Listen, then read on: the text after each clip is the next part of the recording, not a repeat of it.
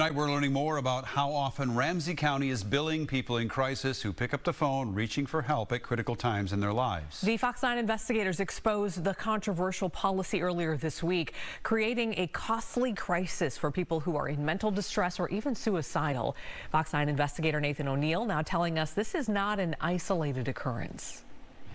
New data we've just obtained shows Ramsey County is billing people in crisis hundreds of times every year through a practice that stunned mental health advocates all across the state.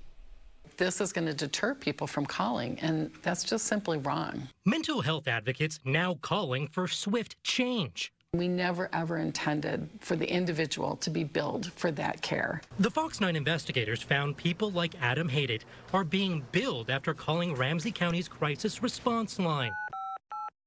I believe at least one life will be lost if it's not changed.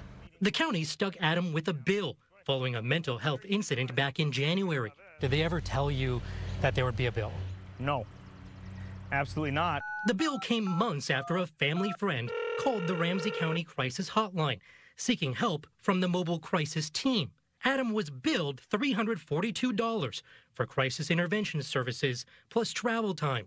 His mom, stunned. Stress is not helpful, and that bill just adds more stress. But Adam isn't the only one to get a bill. Data obtained this week by the Fox 9 investigators reveals since last year, Ramsey County has billed people at least 745 times. And last year alone, one in three encounters with the mobile crisis team resulted in billing people directly.